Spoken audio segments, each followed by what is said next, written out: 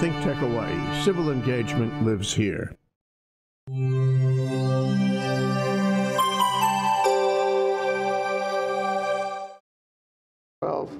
Okay, we're back. Oh, My goodness, it's Friday.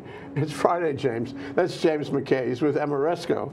He is a, an energy um, energy solution partner. Yep. With, with uh, Ameresco, which is a national company. National company. Uh, some what, 1,100 people involved? About that now, yeah. So, like all energy companies, growing pretty quickly. It's a busy time in, in the world. And your beat is here in, in Hawaii. Yeah, yeah, yeah. I've been in Hawaii nearly seven years now. Yeah. Um, I'm the, the, basically the business uh, development manager for the Hawaii region. Uh-huh. So I report up to the, the manager in the, the, the West Coast out of Seattle. So uh, Ameresco have been doing business in Hawaii for probably five or six years kind of, I think now we, we've, we've, as a company, have found out we made the mistake of trying to manage the business from the East Coast out of Boston, which for a few reasons. With Hawaii, you can't do that. Yeah, it's uh, been a very painful learning lesson. So, yeah, I'm, I'm more doing damage control than business development yeah, right now. So, my role is to kind of go back and look at the projects we've done, sort of pick up the, the open and items that I, am not really that satisfied, nor the client, yeah. and just sort of get them fixed up in the most expedient way possible. What kind of projects has Ameresco done in Hawaii? So the biggest project we've had was with the state of Hawaii. Uh, it's the Dep Department of Accounting and, and, General Services, so known as DAGS.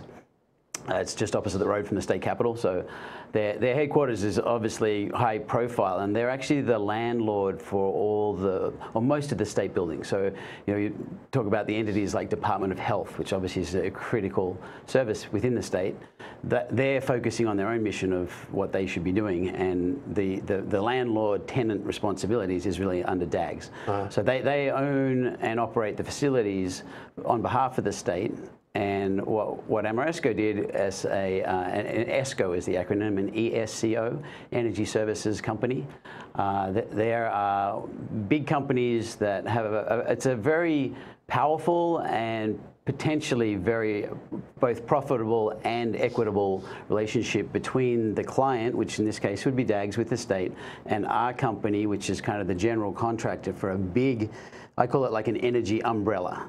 So the Energy Solutions Company competes in a deal which is called an Energy Solutions contract, and, and it's usually a performance contract. So it's an Energy Solutions performance contract, ESPC. So to show metrics in order to get paid?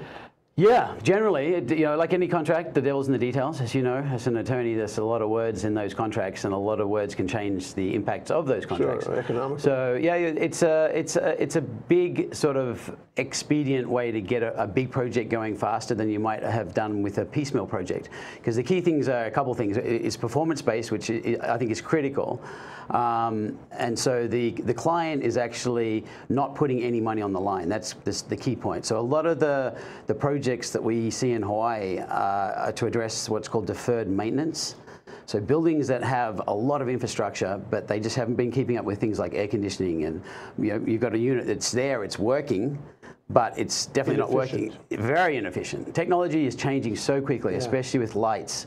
You know, solar PV. That that that that the technology in solar hasn't changed expediently as much as LEDs and air conditioning and other pumps and motors and stuff. But if you just have a widget that you've bought 20 years ago and you think it's working, it's, it's drawing a lot more energy than it should be in today's modern world and the way technology is changing. So we sort of take the approach that that's under the label of deferred maintenance. So it's, it's maintenance that should have been done on that equipment usually a lot earlier than when we review it. So it's a whole bunch of things. Oh yeah, yeah. And, we, and what's the what's the principal metric that uh, we Ameresco have helped DAGS by what? Reducing costs of operating the building or it's reducing energy costs of operating the building? Reducing of kilowatt hours. But obviously, you know, when you look at something like, even though we didn't do uh, lighting in an LED technology, we just upgraded the fluorescent tubes, is, is what I've sort of seen so far.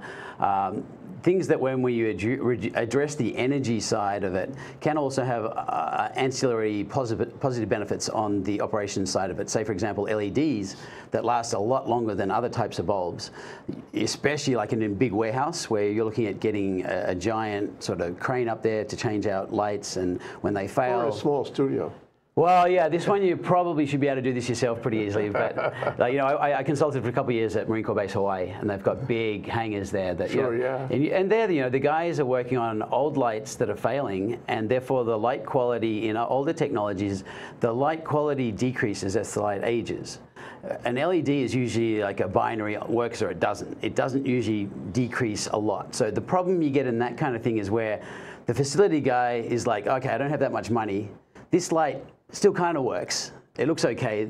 We, we can put the money somewhere that. else. We, we'll just wait until it breaks. Yeah. But meanwhile, the mechanic that's working on a helicopter Can't see. really see what he's doing. They, they usually have to wear headlamps anyway, but you know it's not the ideal situation. So the, the energy services procurement contract comes in and says, all right, you've got, let's say, you know, UH Manoa is a case study. I hate to kind of dig on them, but they're upwards of over half a billion dollars with a B in deferred maintenance in, in just that one campus alone.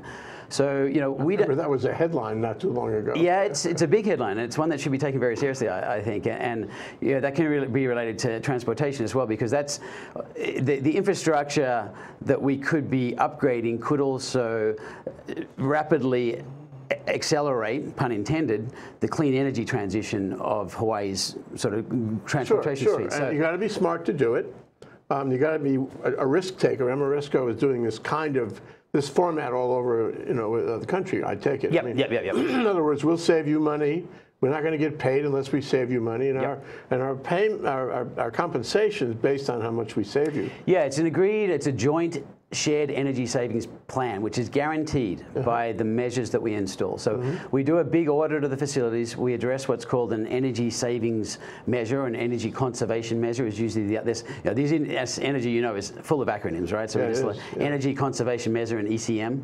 So there's a giant spreadsheet that sort of addresses what do we have today, what should be there tomorrow, the savings, and then we work out how, when we put up all the money to upgrade your facilities, how do we get paid back so you know we don't go out of business and lose everything, Right. but you guys get an upgraded facility at our cost. You got to be smart. You got to be able to look around the corner. It's- are it's- you managing these contracts, or when you say developer, are you are you um, negotiating in the first place, or are you managing them in the second place? Uh, it would be a bit of both. I've only been there not even quite nine months yet. So I, I was in, uh, originally moved to Hawaii for the solar energy industry and worked in a lot of uh, capacities. So you had experience in solar and energy, renewable energy before you even came. Oh, absolutely. I think I think that's what were you critical. doing in Australia? Okay. were Uh, no? I moved from Arizona actually. Uh, Ironically, the Valley of the Sun. You have an Arizona accent, James. Yeah, I know it's, it's a little hard to understand. I understand, but uh, I thought they were going to put subtitles up, but I haven't Oh, seen so- any okay. yet. anyway, um, but yeah, no, I, I actually worked out worked for the first solar company in America. Uh, it's uh, AEE Solar, founded by a brilliant guy called David Katz, and so he started solar in the 70s. He was actually the first person that bought a solar module to implement and. Ironically, where Hawaii is now is actually for the marijuana industry in Humboldt County because there were a lot of these off-grid silties. So, so yeah, the, the off-grid growing places were driving up and down to get car batteries to power their little cabins in, in the hills to grow pot. and, and David being a really, really smart guy, and he was a nuclear physicist and just didn't want to work for the Navy. He wanted to do something useful with his life. He thought, you know, that's not my kuleana to travel the world and do that stuff. So he left and he found his path just through the money in the sort of cash industry of growing marijuana and then created the first off-grid system to help refuel these batteries because he was too lazy to go down and get new batteries in Humboldt County. So, but he, he's a very ethical guy. Uh, I learned a lot from him and most importantly, I learned uh, the most important thing about the solar industry is we shouldn't just be plowing on more modules and the generation. You want to optimize your energy load. So you actually minimize your energy usage first, and the best solar install is the smallest install for that site.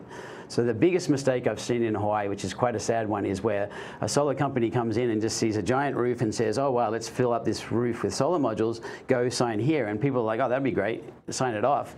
And usually in the agreement that we have with the utility when we go to interconnect, the customer doesn't get any benefit to the over generation. So it's going back to the utilities grid and they're just going to sell your energy to your neighbor at their profit. Yeah, So but you've made the investment. Yeah, if you've bought it, yeah, yeah. So you know the, the, the solar companies that do it on a third-party agreement, where it's a power purchase agreement, will never do that because they know that they're not going to get the money back. So you know, it's a complicated industry, but uh, as you say, key, key planning is, is, critical, and that's where we do it now. Is that we've been doing kind of the, the bread and butter of the ESCO world of facilities and upgrading things, and so as Hawaii's set our ambitious goal for 2040, the the 100% renewable, we've now got a aligning transportation goal of trying to get clean renewable energy into the transportation sector, which is very ambitious as well. So let me reel it back just one one thought about you know the, the, the concept in general. It sounds like this is a kind of uh, aftermarket. In other words, the low-hanging fruit was the guy wants to cover his roof with solar. That's the low-hanging fruit. He'll sign anything. Somebody gives him a spreadsheet, you know, and he'll he'll buy it. Um, but the secondary aspect of that is um, we're we're going to do a more refined analysis on you. Um, we're going to cut this this baby more carefully. Mm -hmm. uh, we're going to look for efficiency. We're not going to oversell you. Uh, we're going to we're going to find out exactly what you need, exactly what will work best, and then we, are going to put our brain cells on that and give you a, a, project that is really suited for you. Absolutely. And, instead of uh, you know overselling you. And I think it's an important point to make is that's where we are in the continuum uh, of planning, selling, developing solar, at least solar panels in the state. Yeah, right? absolutely. Yeah, and, that, and that's kind of where I've been well suited for it now that um, when I it got it harder it got harder to sell solar systems, so a lot of solar companies did struggle, sort of starting about five years ago maybe. And so the, the commission structure that unfortunately the solar companies were on incentivized the increase bigger selling of more. Better. Bigger the better, because the higher the your commission. You know, essentially by me selling solar the right way, by look, talking about their lights and their air conditioning, and people are like, I thought you were the solar guy. I'm like, no, no, this is important. That it reduced my commission, which obviously my bosses weren't happy with, but that's the right way to do it. So this this evolution now has come to where you're looking at a facility, it, it, has to factor in everything, and then bigger picture scale out from that one client or organization to Hawaii. Yeah. We have to look at how how, do, how does where we're moving with all this clean we're energy not stuff. Get to 100% until we start thinking like this. Absolutely. Okay, and, and you, to your credit, you do, and I'm Ameresco does, and that's where you are. Now, the, you know, the big question, and it's a hard one for me because I don't have an answer. I do not know what your answer is going to be on this. How do you take that kind of thinking you know, and apply it to transportation? Not easy. How do you do mm. that? Yeah, it's it's a, well, it is a challenge, and um, I've just just found out it's unfortunately more of a challenge than I hoped it was going to be. so this, uh, the City County of Honolulu now is now I think just about to end their first month-long trial of their first electric bus here, which was donated by a company, or not donated, it's on loan, unfortunately. It would be great if they just gave it to us, but um, you know, they're sort of seven, eight hundred thousand dollars for one bus, which sounds like a lot, but I think the guy who was there at the Oahu Transportation Services said the average bus is you know six six hundred grand anyway. That, that'd so be John um, Nouchi. Yeah, yeah, yeah, exactly. so number two in DTS. Right. Yeah. So you know, it's great to see them moving that way, but we have a lot more buses, and the the thing is that people think, you know, I'm going to go green on the consumer side, residential. You know, I'm going to buy a Tesla. That, that that's great. And they, if you're just plugging into the grid, mm. essentially you're not guaranteed to be fueling it from renewable energy anyway. You need to have that renewable energy supply. So I'm I'm proud that the state's moving towards clean transportation, but in my mind, where the ideal solar system generating power is where the load or where the demand is going to be. So as soon as I heard this, I'm like, okay, well, if all the buses are just going to plug into a grid that is still owned and operated by HECO and they're not rapidly ramping out their renewable energy supply, we've got to kind of look at a model where maybe we look at a giant solar canopy where the buses are parked at night and where the buses are on their routes or routes depends where you come from, and you can you could have them plug in just even rapidly to charge while they're waiting. And there's a couple benefits that the utility would get from that is, is, that, you know, if in partnership they can also partner into this deal, but also the buses are essentially like giant moving batteries. And the batteries are good for electrical issues on the grid, like if there's spikes and oversupply of solar. The solar energy, instead of kind of being wasted or in other islands, they're actually being run to ground. It's actually wasting that extra generation. Yeah. That could be used to, instead of dump it to ground and waste it, you know, if the bus is parked for five minutes, jump, dump it into that battery for Charge the bus. them wherever you can find them. Absolutely. So we, we've got a, a longer vision. We've got all these moving batteries running around Oahu, there's a bunch of solar generation. Moving, oh, Yeah, so yeah, mobile battery. Mobile battery, that's just, it's, it's, it's called vehicle to grid. So it's using the vehicle to charge the grid and vice versa. And, and who makes these? The same company as the bus? That's the Achilles heel. I've just kind of found out. So I, I vis- visited with Proterra, who's out in Oakland, and I've been talking to BYD. So they're the big two companies. Proterra is kind of like an American-grown company. BYD started in China. They've set up shop in, in, in LA, LA. They're slightly different models. So the one that the city counties just started with is the Proterra model. BYD is coming in very shortly after for another month. So they're going to test them. Uh, what I was hoping for was that they'd already had, here's your business plan for putting in these giant parking structures. Here's maybe the extra storage you need on those sites, and here's the fast chargers that you can rapidly charge all our buses and go in and out. But they're focused on the bus themselves, not that part of it yet. When, when we come back from this break, I want to I want to tell you my my vision, and then I'd like you to try to shoot it down. Love it. Okay. I'm sure you'll have a good time. Ah, great. That's James McCay. He always has a good time. We'll be right back after this break. Thank you. Hello, everyone. I'm DeSoto Brown, the co-host of Human Humane Architecture, which is seen on Think Tech Hawaii every other Tuesday at 4 p.m. And with the show's host, Martin Despang, we discuss architecture here in the Hawaiian Islands and how it not only affects the way we live, but other aspects of our life, not only here in Hawaii, but internationally as well. So join us for Human Humane Architecture every other Tuesday at 4 p.m. on Think Tech Hawaii. Aloha, I'm Keli'i Akina, and I'm here every other week on Mondays at 2 o'clock p.m. on Think Tech Hawaii's Hawaii Together. In Hawaii Together, we talk with some of the most fascinating people in the islands about working together, working together for a better economy, government, and society. So I invite you into our conversation every other Monday at 2 p.m. on Think Tech Hawaii Broadcast Network. Join us for Hawaii Together. I'm Keli'i Akina. Aloha. Okay, we're back. We're live. I told you we'd come back. We came back. I told you. We did. James McCay, Ameresco, um, a an energy um, uh, solution uh, partner, and uh, trying to develop um, these efficiency concepts around uh, renewable energy um, for all kinds of things in Hawaii. Yep. Um, so. Let me, let me offer you a model and you can tell me. I mean, I agree. We absolutely have to fix the bus system. Um, buses are a great prospect. Buses can move lots of people. Buses can take cars off, off the highway. Not for everybody, not for the you know small contractor who has to have his kit in his truck. Can't take him off the highway. Yep. Um, but for most people, commuters, of, of course, buses. We got a lot of buses. Everybody says we got a great bus system, okay? Most of those buses, except this one temporary, you know, experimental electric bus are fossil fuel buses. Yep. And they work fine. Everybody likes them, you know. Um, have to pay a little, but there are some some people who are entitled to a discount and all this. Um, you know, like retired people can can buy uh, you know thirty-five dollar annual bus pass. Yeah, it's great. It's not so good if you're a cyclist behind one. Uh, well, that's that. that's another issue. Yeah. Anyway, That's didn't a- write here, okay, yeah. and you know, so we got to got to keep keep uh, our eye on the air. but let me let me give you my model, okay? Mm-hmm. Um, an ordinary bus costs a lot less than seven hundred fifty thousand dollars, right? Mm-hmm, Which is the electric cost of the electric bus, and to re refleet. Uh, you know, the bus system in Oahu or anywhere else at 750 a pop is going to cost a lot of money, and there's a lot of resistance because Hawaii is not in great shape financially. Yep. You know, and there's all kinds of issues about financing that kind of expense.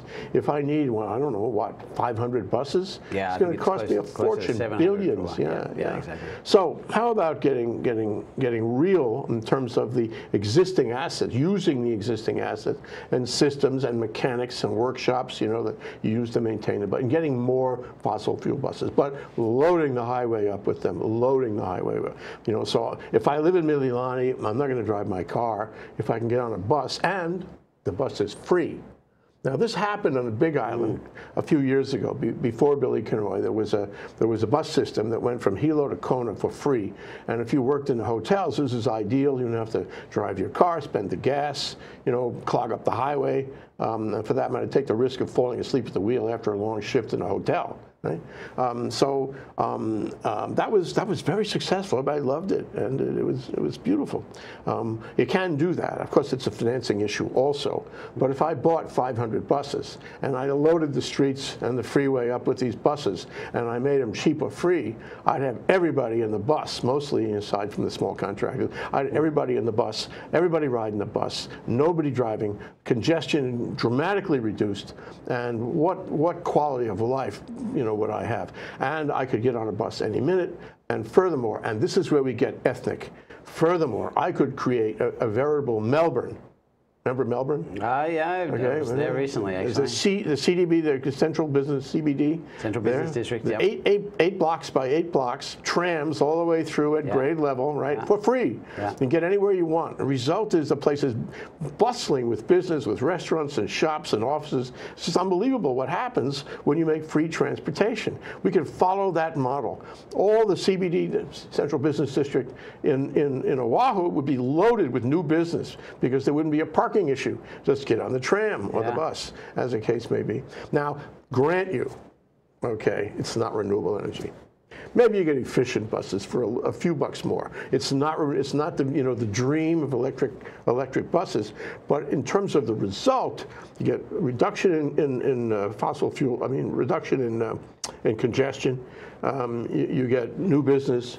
Um, you get people having a quality of life where they can do their, you know, their cell phone activity while they're on the Yeah, bus totally. instead of The being, important stuff. you know, not even able to make a call while they're driving.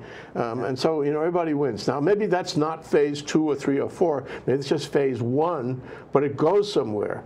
Now, the challenge I see for that is you gotta you gotta find the money to buy the buses, and you gotta find the money to make the buses cheap or free. Mm-hmm. Maybe it's a step transaction kind of thing. Mm-hmm. But in that direction, in the space of five years or no more, um, or maybe a little more, we, we would be able to change the way transportation works in Oahu. Absolutely. And get everybody on the bus. And I would get on the bus myself, and Yeah. you probably would too. If it was free, you know, that's that's yeah, uh, that's your idea, I guess. It's not patented yet. You don't have the company set up. Yeah. No, I, I, lo- I love the model. I think it's it's awesome, and I actually didn't know about the Big Island one, so I'd like to learn more about that. You know, I think it's interesting when you have a model like that uh, to look at why it doesn't exist anymore. Obviously, so that that's an important one. You know, obviously someone in the Big Island killed that program for a reason, and to sort of go back to that. No, I think it must have been financial because it was free. Anything Yeah, that's free is a target. It's like low-hanging fruit. It's, Right. It's like let's get that for the general fund. You know what I mean? Yeah, and that's the wrong vision, right? That you, it, th- that's where I think we have enough money on this planet to solve every problem that we have on this planet. It's just how you apply that money and having the right people in power to move the money to where it needs to be. So I think that's the first thing I'd go to. I'd love to learn more about that program. I, I love your idea. I actually was not at all a, supporter of rail uh, when it was launched, and just the concept of just where it was and how it was going to work, it just to me didn't seem to make sense for Hawaii. Uh, you know, it's it's it's too late now to sort of stop that. It's, we're way indebted with with that project. But uh, uh, when in the initial hearings for that project, um, there was a guy who testified, I think, uh, some model in Brazil. And their model was the extended buses, dedicated lanes in the highways, and that, that's all you could do in that lane. And it was a very, I don't think it was free, but it was very cheap, extremely affordable, you know, 10 cents a ride or something. So I, I think that's a great model. And actually also to go back to the whole renewable thing, you know, I don't have much focus in my life in any sphere, so I'm, kind of good at looking at opportunities and connecting dots. So as soon as you said it's not renewable, I'm just like, well, you know, it, it, it should and could be renewable. So we, we have a great local company here, Pacific Biodiesel, right? So why not have a mandate and help them scale up and other other companies that can produce biofuels? We've got a great energy or now elemental accelerator company, Terviva, that's growing crops that are going to be crushed for oil, and now they've launched their partnership much more with Kamehameha Schools and using unused land, and that's not a feedstock, so they could be planting that in very compromised land that has you know toxic chemicals and pesticides where people don't want to grow kale and lettuce and whatever. they could be growing your bus biofuel. So there's no reason why this shouldn't ah, yeah, shouldn't be local good fuel. So- that would not be hard to do. Absolutely. Well, it's not going to be easy to do, but it's something we should be looking at. We have at. a system. Yeah, you know, we- I we mean, can do it. Bio, biodiesel uh, actually you know works, Yep. and they are providing biofuel Absolutely. to the airport and to other state Yep. facilities Yep. um, and and private interests, and so you could you could do that, Yep. and that could be like phase one one A. Yep. And phase one B, by the way, might be that as you retire the fossil fuel buses, you bring in more renewable type buses, whether it's biofuel buses, uh, or, or actually uh, fossil fuel and biofuel is the same kind of bus, really. Yeah, you can run, most diesel buses will run on biodiesel without Uh, yeah, much of a tweak. a and I'm problem. definitely not an expert in that area. Yeah, yeah. But I, I think it's workable. are. I mean, it's, yeah. it's not a big deal to convert them. Yep. Um, and so then you can start bringing in electric buses as the technology gets better, as the price you know comes down. And the important thing is you are you have already achieved public acceptance of the bus as a way to commute, as a way to get around, as a way to do the grid in the Yep. central business district. So you, you will have achieved a big change in conduct, and then you can start spending the extra money. I love the idea. I think it's a great idea. And you know, you, uh, any commuter now on the H1 is just looking around. Well, I, I know I do. Just one person, one person, one person, one person. I'm just like, this is insane. Absolutely insane. Yeah. And all, uh, you know, just even when I first moved to the States a long time ago, flying over LA, just seeing all the cars sitting there just for, in traffic, it's just, I just think, wow, how much oil is getting burnt now, now, now. And it's insane. So I think, I think that to, every time I drive, honestly. yeah, and you know, like you say, it, it's a terrible quality quality of life. Like when, when if if people did catch a bus, you, it's not just that you can do other stuff. Like people are on their phones, unfortunately, anyway when they drive. Bad news. It's yeah. terrible, right? So there's a, a health and safety thing. There's a quality of life. There's your whole attention span. There's the stress level. It's like riding a bus, if it's convenient and affordable, is a, is a, a huge improvement, not just to the environmental side of the state, but the the economics, the whole Is this livability. something Ameresco could get involved in? Uh, well, I've been told we'll never be the first into anything, but we hope to be the second if it's a good idea. That's so, yeah, it's a good line. I don't know if I made it up, but it's something like that. So you know, uh, we, we there's an there's an ownership model. It's where we'll, we'll design, build, own, operate, maintain. So it's D-boom, where you know something like an electric bus system would be a bit out of our purview right now, but there's no reason why finding the right financing partners that have the same vision. You know, we've got Mark from Facebook, Zuckerberg, he might love that idea and say, hey, You're I just saw Jay's right. show. This is a great idea. I'd like to start this You know, and as we go down the pike here in this country, not only in Hawaii, in this country, we find that government is unable to raise the money to do the traditional infrastructure things. Yep. Can't raise the money. Yep. And what do you do when you reach that problem? And you don't, you know, strap everybody for the next 50 years. What you do is you bring, you know, business in, you bring private investment in, Yep. you bring industry in to help solve the problem. That's happening more and more. You'll see it's happening with healthcare. It's happening with healthcare. Right, right, right. So uh, this is this is really an insoluble problem, and uh, if, if you could connect up with, with business, um, they might help fund it. You know, they find a way. Ameresco could pencil it out, couldn't Yep, it? yep, yep. Find a way to make it profitable. Exactly. Yeah, yeah. And the th- key thing is, you know, I look at, like, say, you know, the, the uber wealthy. So I I actually have reached out to Mark Zuckerberg. Didn't quite connect, but I'm still kind of working on that. If anyone knows, I'd appreciate the lead. Um, you know, Oprah has land in, in Maui. So these people that come to Hawaii for the reasons of just the sheer beauty and natural paradise that Hawaii is. So I'm like, well, you know, they've got some vested interest here. Instead of creating foundations that are giving money around to the rest of the rest of the world, why not build a feasible and really good business model in the state that they obviously love so much to come and invest here? Like to me, it's just a no-brainer. I wish I was a billionaire. I'd be a great billionaire. But last question. yeah. James, last question. It's the ghost of Christmas future. Mm. It's Charles Dickens. Okay, I'm going to give you a world here in Hawaii where, on this issue, on you know congestion and public transportation and transportation in general, ground transportation, uh, where we do nothing. We just turn our backs on it. We, we kick the, ran, the can per, perpetually down the road, and uh, we get all locked up in a failure of consensus or leadership. What happens to us then? I'd just like to know your thoughts. Yeah, uh, that's an interesting question too, because to me that was also tied with the development we've got going on here, like Ho'opili, the development that's that's grown, and that's going to kind of build up the South Shore of Oahu. And um, yeah, it's not a lifestyle I want to see. Uh, it's scary to me it, personally. It, like having more cars and more people in less density and just sort of more sprawl. Uh, I know we're going high rise, but just you know, ultimately population is the biggest issue. Just more people coming to an island, even a giant island like Australia, continent, it, you know, at some point you have a, a, a, carrying capacity. There's definitely a quality of life issue, which is kind of why I'm into the sustainability thing, because I think where we're heading as a species and a planet is a scary place. So I think we, we can't be at all apathetic about where we are today and where we should be focusing on a positive, positive vision tomorrow, because we're already seeing the impacts of where we could be if we don't take serious and rapid yeah, action. yeah. yeah. James McCay, Ameresco, an energy solutions partner, also a thinker. Thank you so much, James. Thank you, Jane. Appreciate the time. Happy Aloha Friday.